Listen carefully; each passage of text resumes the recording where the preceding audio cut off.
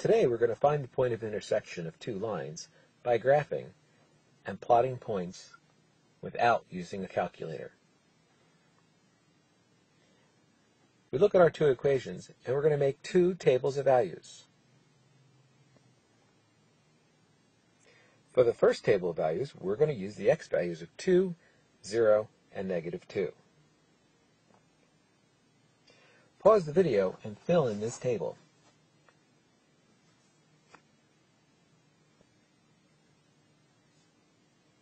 Here's the solution. Now let's do the other table.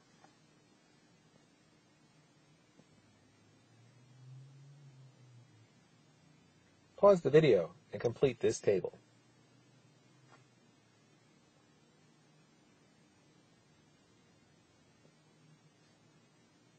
Here's the solution. Pause the video and make sure your answers are correct.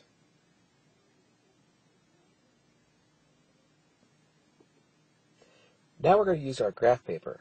Make sure you use a graph paper that is big enough to fit all of your points. Our highest value in the y-axis is 8. Our lowest value in the y-axis is negative 4.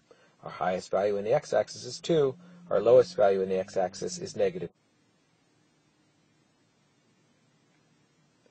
Now we're going to plot our points. Let's start with 2x plus 1.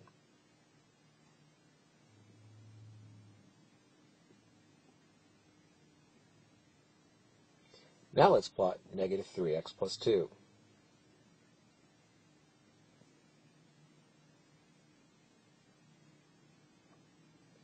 Now let's connect our dots and take a look at our line.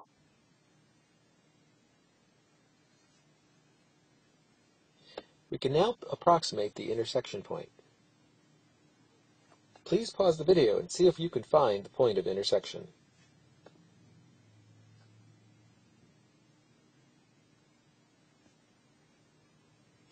We can see from the graph that the intersection point is approximately 1 fifth, comma, 7 fifths. This is pretty hard to approximate. However, later on we will find of a more, of a more exact way of getting the answer. For now, an approximation is good enough. Please pause the video and copy this into your notes.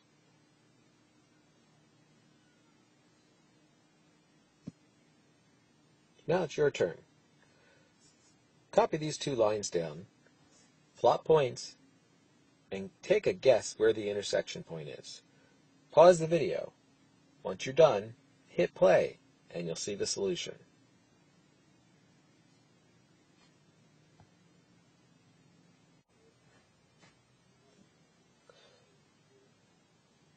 Pause the video and compare your solution. The intersection point is at 1 half comma negative 1.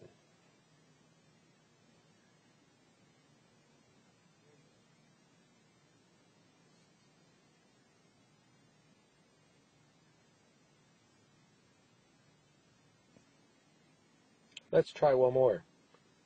Copy these two linear equations, graph them, find the point of intersection.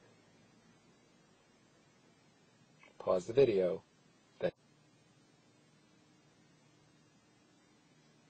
Please check your solution and copy it into your notes. Negative 1, 2 is the intersection point.